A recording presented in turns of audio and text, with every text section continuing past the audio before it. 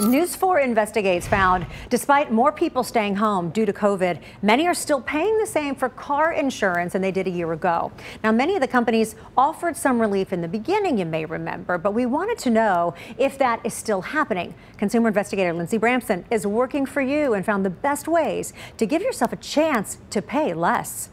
Between working from home and taking COVID precautions, it's no surprise AAA reports nearly half of Tennesseans say they've been driving less due to the pandemic.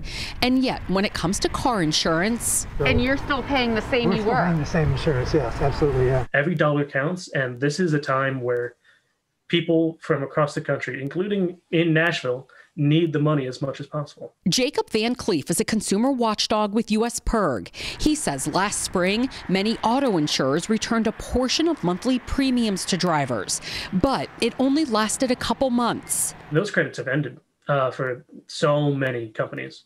Yeah, we Uh, still have so many yeah. people who still aren't driving any more than they were six months ago.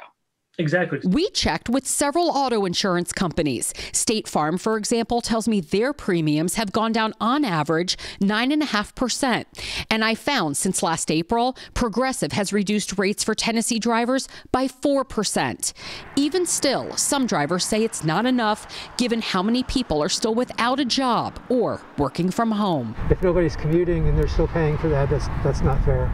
So here are some steps you can take to make sure you're getting the best deal on car insurance right now. Call your insurance agent first and ask if you can get a lower rate. Explain to them your situation. You can also shop around and call other companies, ask what their prices are and whether they can beat what you're currently paying. For News 4 Investigates, I'm Lindsay Bramson.